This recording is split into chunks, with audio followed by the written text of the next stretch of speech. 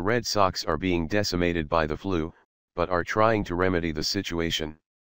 If you were watching Saturday's NESN broadcast of the Boston Red Sox and Detroit Tigers, you probably noticed something unusual.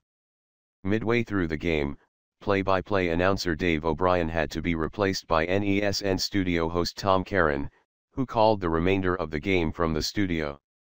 The reasoning for the switch was straightforward, O'Brien was the latest member of the Red Sox org to catch the flu. The Red Sox as a whole have been battling various strands of flu over the past two weeks.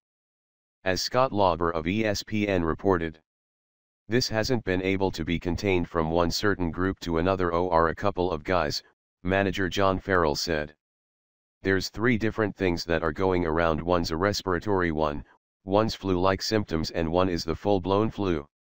Among those affected by one aspect of the flu or another, Mookie Betts, he played in his second game on Sunday, Mitch Moreland, Hanley Ramirez, Robbie Ross Jr.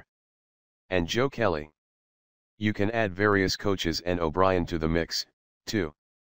Oh, and by the way shortstop Xander Bogaerts and left-handed reliever Matt Barnes have been on the bereavement list. It's more than fair to write that Boston's depth has been tested more than any other team's has this season. Fear not, however, Red Sox fans. The team is taking precautions to remedy the situation. Flu bug and all, the Red Sox got off to a 3-2 start with a positive run differential.